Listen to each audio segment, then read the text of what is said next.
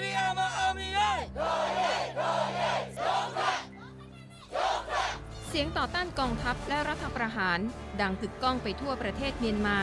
ประชาชนพากันลงถนนเคลื่อนไหวเรียกร้องให้กองทัพ ปล่อยตัวองซานซูจี ผู้นำพรรคสันนิบาตแห่งชาติเพื่อประชาธิปไตยหรือ NLD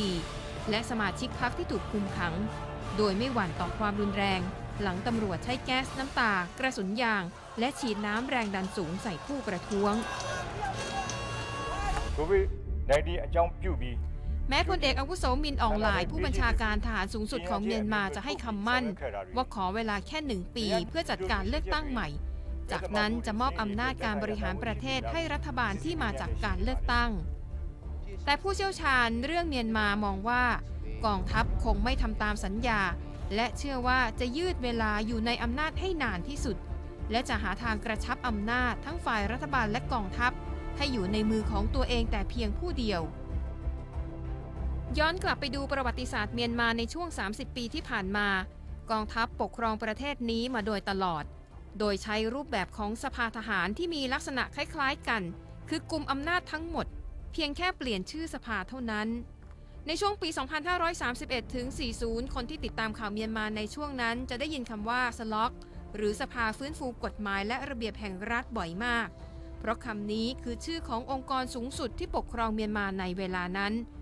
ต่อมาสภานี้ก็ได้กลายร่างไปเป็นสภาสันติภาพและการพัฒนาแห่งรัฐ หรือ SPDC และในช่วงเปลี่ยนผ่านจากเผด็จการสู่ประชาธิปไตย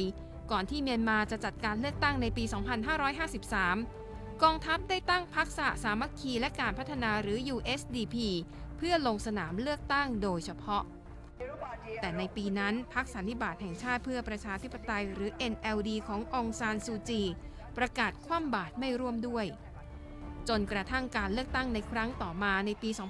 2558พรรค NLD ชนะการเลือกตั้งอย่างถล่มทลาย และทำให้เมียนมาก้าวสู่รูปแบบการปกครองในระบอบประชาธิปไตยแบบเต็มตัวมากขึ้น ส่วนการยึดอำนาจในครั้งนี้ สื่อมวลชนอาวุโสที่เชี่ยวชาญเรื่องเมียนมา มองว่ากองทัพจะยึดอำนาจอีกนานหลายปี โดยใช้รูปแบบการปกครองแบบสภาทหารเหมือนในอดีตที่ผ่านมา เป็นลักษณะรูปร่างของสภาทหาร ซึ่งควบคุมได้ทั้งกองทัพและควบคุมได้ทั้งรัฐบาลในเวลาเดียวกัน สภาอาจจะเป็นสภาพเหมือนตายางและความจริงประเทศพม่าไม่ต้องการกฎหมายอะไรมากมายนะครับเพราะจะอาศัยอำนาจคำสั่งของของประธานสูงสุด ของสภาทหาร หรือสภาปกครองประเทศอะไรประมาณนี้ก็แล้วแต่จะตั้งชื่ออะไรนะครับ ผมคิดว่ารูปแบบการปกครองอาจจะเป็นแบบนี้เพราะมันจะสะดวกกว่าสำหรับกองทัพที่จะจัดการ อีกสิ่งหนึ่งที่หลายคนกังวลมากที่สุด คือกองทัพเมียนมาจะใช้ความรุนแรงจัดการผู้ชุมนุม จนถึงขั้นหนองเลือด เหมือนที่เคยเกิดขึ้นในอดีตหรือไม่ ประเด็นนี้คุณสุภลักษณ์มองว่าเกิดขึ้นแน่นอน แต่ถ้าหากนานาชาติ โดยเฉพาะอย่างยิ่งอาเซียน ช่วยกันท้วงติ่ง อาจทำให้กองทัพเมียนมาคิดหนักมากขึ้นเขาใช้แน่ครับกองทัพพม่าไม่เคยยังคิดเรื่องพวกนี้เลย แล้วก็ต้องระลึกนะครับว่าเขาเนี่ยถูกข้อกล่าวหาสากล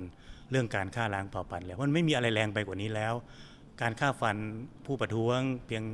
อาจจะเลือนร้อยเนี่ยมันเป็นเรื่องปกติที่กองทัพพม่าทำมาอยู่ทุกวี่ทุกวันอยู่แล้ว เพราะฉะนั้นผมคิดว่าเราคาดหวังที่จะเห็นนะครับว่าชุมชนนานาชาติก็ดี ประเทศเพื่อนบ้านก็ดีช่วยกันสอดส่องระมัดระวัง อย่าให้กองทัพพม่าทำการเหมือนอย่างที่เขาเคยทำมาอย่างสะดวกมือกลุ่มอาเซียน ผมคิดว่าควรจะเร็วกว่านี้ แข่งขันกว่านี้ในการเข้าไปดูแลสถานการณ์ในพม่าส่งคนไปดูก็ได้เลยก็ได้อย่าให้กองทัพพม่าย่ามใจลำพองในอำนาจของตัวเองมากจนเกินไปครับ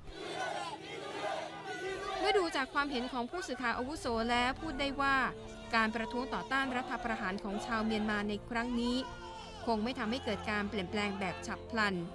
คงต้องทำใจว่าเมียนมาจะอยู่ภายใต้การปกครองของทหารไปอีกหลายปี แต่การประท้วงที่เกิดขึ้นยังถือเป็นสิ่งจำเป็น